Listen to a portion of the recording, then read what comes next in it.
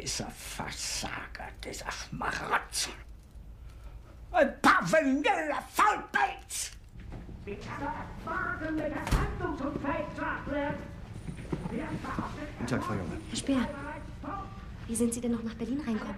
Einfach war es nicht. Aber ich muss noch einmal zum Führer. An Ihrer Stelle würde ich damit lieber warten. Die Luftwaffe! Was hat er daraus gemacht? Allein dafür müsste man ihn an die Wand stellen! Dieser Morphinist hat die Korruption in unserem Staat möglich gemacht! Und jetzt das? Verrat an meiner Person! An meiner Person!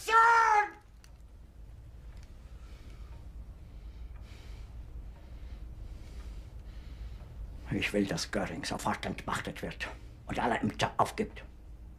Für den Fall, dass ich den Krieg nicht überstehe, ist der Mann auf der Stelle hinzurichten.